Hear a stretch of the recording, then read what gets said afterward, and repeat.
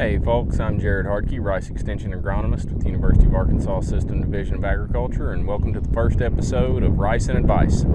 Here we stand in Stuttgart on the Rice Research and Extension Center, and I'm in the middle of the DD50 planting date study. This one went in the ground on March 21st of this year. As of just yesterday, we found finally now reached uh, emergence to a stand at this point. That's what we're going to have a little bit closer look at today on really, really defining what we're looking at in terms of saying when a given field has reached emergence and when we need to use that date in our DD50 program enrollment to make sure that we start accumulating DD50 units on the appropriate day to keep that program as accurate as possible throughout the entire season. So with that, let's have a little bit closer look at what's going on with this rice. So here we're taking a little bit closer look at just emerging rice. You can see that combination of white to off-white and obviously some slight green appearance. So the majority of this rice actually emerged yesterday, a day ago.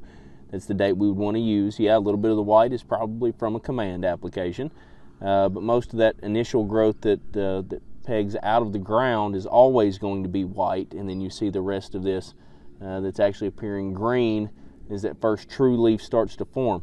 So keep in mind that with some of our herbicide applications, if we need them as a post application, cannot go out until we have one full true leaf. Well, we're certainly not there yet. You know that because you can't see one collar on that first green true leaf. Hopefully we will very soon given the temperatures, but we don't at this point. So one unique thing when we look across something like a planting date study, and we're obviously having a really good look right now at seedling vigor and emergence out of the, the 20 different cultivars that are planted in this study, is that really across the field, the trial up and down, you really get a, a pretty good appreciation for the fact that the, the vigor at emergence is very similar and competitive among all the cultivars that we're currently evaluating. So everything from a commercial basis is pretty similar. Now, some differences that you may think are appearing in some of these plots as we're walking by them can really simply be due to being able to see more plants because one plot may be a hybrid and another may be a variety. And yes, certainly there's going to be some slight differences in vigor, but you can see that the majority of these plots where it's dried out enough, you can still see some wet soil locations holding the, the rice back just a little bit it's a little bit of plot variability uh, we're used to, but we're monitoring for, as we always do. But uh, they all seem to be looking really good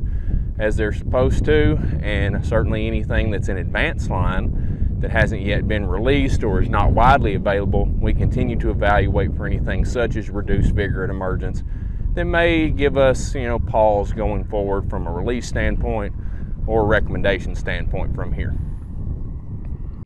So one item that's probably not going to show up out here much at this point is the need to focus on getting our residual herbicides out there in the field and activated with a rainfall, if at all possible. One of the things we seem to be dealing with with some of this early planted rice is an ability to get a little bit of rice in the ground, but with frequent rainfall we can't get our levees up with that, the common question, well, what do I do with my herbicides? If I spray now and then I pull my levees, I won't have much herbicide, if any, on my levees. Well, the answer is keep the field clean first, make those herbicide applications ahead of a rain, get them activated on the field so we can keep that grass and weed spectrum at bay, and then we'll deal with the levees when that time comes. And as it goes, by the time you probably do get an opportunity to pull those levees, get them seeded and off and rolling, uh, we can just about guarantee it's going to be time for another round of residual herbicide at that point in time anyway. So let's try to stay out in front of this while we do have the rain causing us problems. For rice that is in the ground where we're trying to get residual herbicides out, it's also a blessing. Get those activated and keep these early fields clean. So these early fields that have had herbicides out, be aware it's been two, in some cases three weeks since that rice was planted. No guarantees on when a residual is exactly going to play out, but we're certainly reaching the end of that window and we're going to be needing to look at, at overlapping another residual, even though some of that rice is just now coming out of the ground. Much easier to control weeds before they ever come up than spending money on much more costly post-emergence herbicide options. So just to wrap a few things up, Uh, while the state is probably only about 10% planted as of this past Monday, certain portions of the state and certain growers are certainly a lot further along than that would actually suggest, certainly in the far northeast. Some actually at this point pretty much wrapped up with planting rice, uh, quite a bit on the, in spots on the prairie. But again, most still really haven't uh, put the first drill seed in the ground. But with that in mind, I do want to point you toward the much improved DD50 rice management program found online.